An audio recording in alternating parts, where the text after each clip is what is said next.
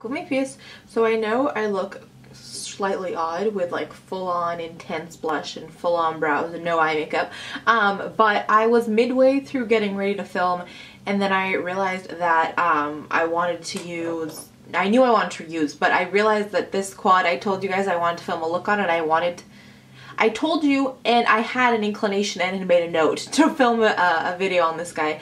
So I thought um, I'm gonna stop midway through doing my makeup and do a look on um, this Dolce & Gabbana Desert Quad. So if you missed the haul, I picked it up a couple weeks ago when Harrods was having a 10% off sale. Um, and this special edition packaging that matches my bedspread um, is special edition so they have whatever is left usually in store and maybe if they still have any online is what they've got online but I think once it's gone the packaging is gone but the quad itself is part of their permanent line so um, I have really really been enjoying this guy and so if you want a quick sort of is it worth it? In my opinion, these colors are really, I'm trying to see if there's a way not to blind you because uh, it all shines, but um, hopefully see them in action. What's nice about them is they're super creamy, they're super pigmented, really nice to blend. And honestly, not only have I been using them um, like on their own as a quad if I want a neutral eye, but I also tend to really love bright, colorful eyes. And so what I love, I ha love having this quad sort of on the side so that if I need a transition color or a crease color or something, I've got it like really to pick, quickly pick up and just go to town enjoy using it. I don't, you guys know what I'm trying to say. Okay, I'm just gonna get started. If you wanna do this as a chit chat video, I haven't done a chit chat video for a while. So I'm gonna start with my um, Trish McEvoy eye base in Bare.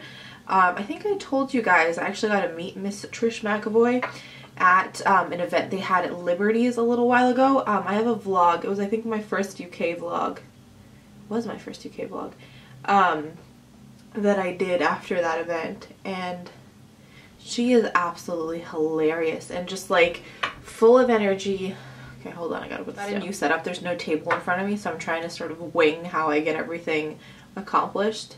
Um, but anyways, yeah, no, she's like super high energy, really, really sweet and bubbly and just, I don't know, one of those like crazy over the top personalities. Um, her makeup though, like she looks absolutely lovely in it, but it was a little bit too neutral for my taste. Like it's all about sort of very natural, everyday makeup, which is not necessarily my go-to. So I didn't pick up anything from the line. I did have that eye base from before and I really do love the eye base. Um, okay, so we are going to reach into these. Oh my gosh, I gotta find a way to show you this without blinding you. This quad, I don't think they each have their names specifically. So I'm just gonna take the lighter, lightest color in the shade, the lightest shade in the bunch on my MAC 217 all over my lid area.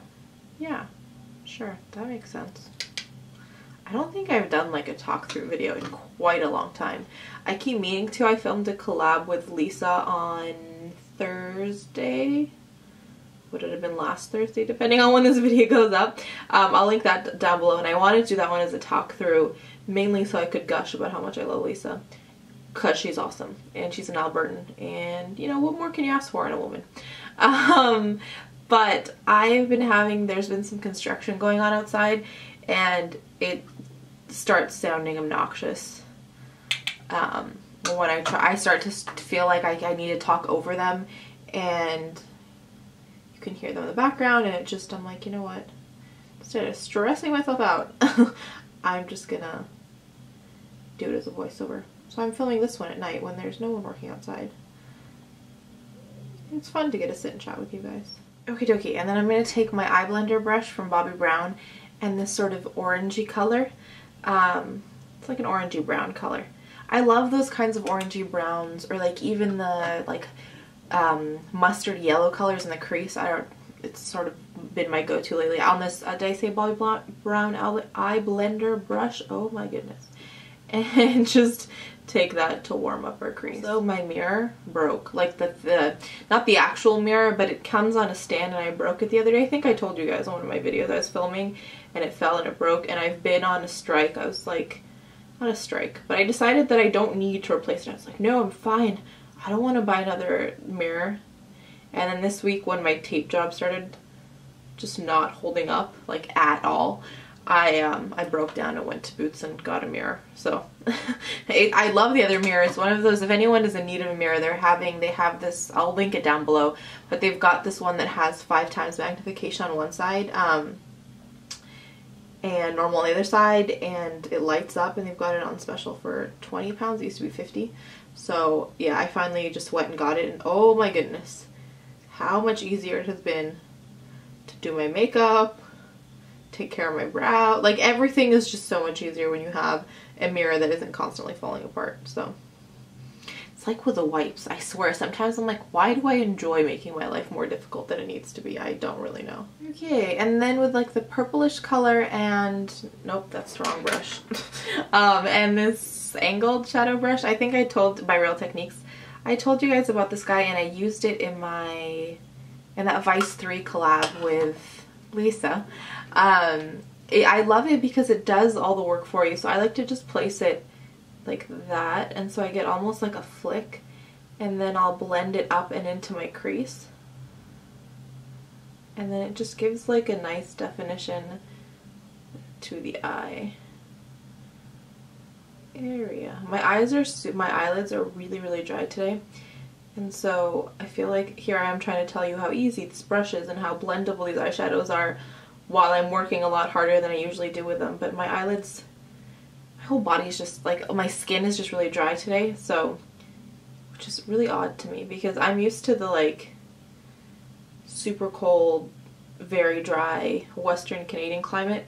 So this technically is humid for me but I've never had my lips like I haven't had lips this chapped and a face this dry in such a long time. And so while I was thinking of skipping doing like a winter skincare video um, that someone requested a little while ago because I was like well I don't know if I'm actually gonna have to change very much while I'm here um, I am going to have to. So I've been testing out a bunch of products that I'll hopefully get to talk to you guys about soon um, because yeah, there's there there needs to be some extra hydration to my skin.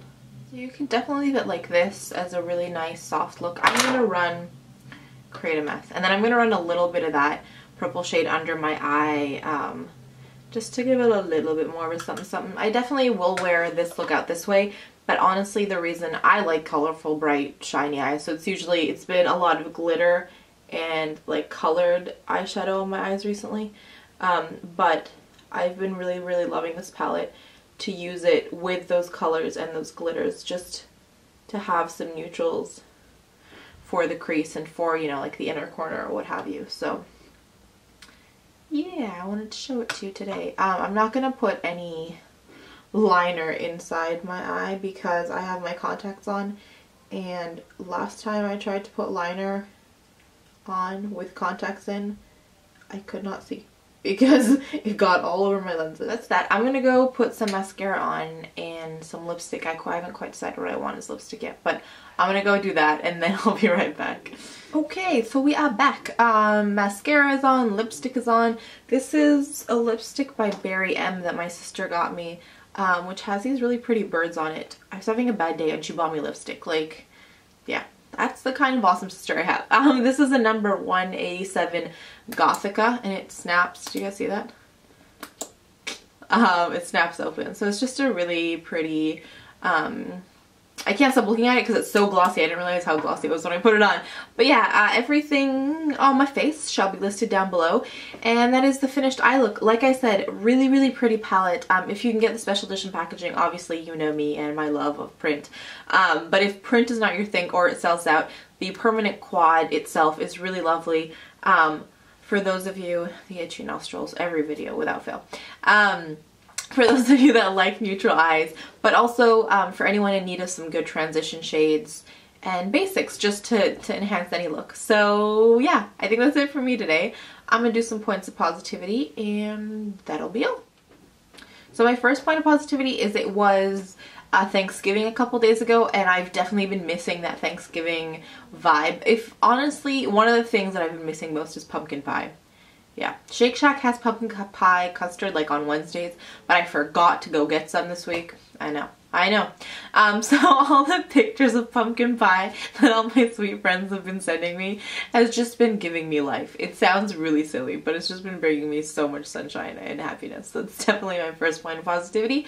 My second is two of my most amazing, amazing soul sisters here on YouTube did a collab together and it was a lip themed collab. So honestly, could it have gotten any better? I don't think so. Um, Ghada and Carol, who are Patchouli and Carol Cosmos here on YouTube did a lip collab and I will link their videos down below. Definitely go check them out. Some amazing um, pics, but I always love to see sort of our little circle grow and, and, you know, become stronger. So it makes me really happy. Stronger in like our connections. You guys know what I'm talking about? Yeah, so um, yeah, just check them out. They brought me lots of, of joy today as well. And my third point of positivity, hold on I have my contacts in and they just don't want to cooperate today. I didn't even put liner in my eyes. The floof. Oh my gosh, I thought it was like we were rid of the floof when I left Canada. No, it follows me. I'm like a magnet to the floof. I'm gonna finish because we're like in 15 different places today. My third point of positivity is um, listening to No Control by One Direction. Yes, I know. But it's one of those songs that makes me feel like a teenager. I was walking at night the other day and I had my um, headphones in and it came on and like I got the urge to you know when we were like 12 and 13 you just you have these songs to that just made me want to like jump and head bob. Yeah I legitimately sort of started doing that and I was like you are in a public space and you need to know just focus on getting to point B and then you can have a dance party.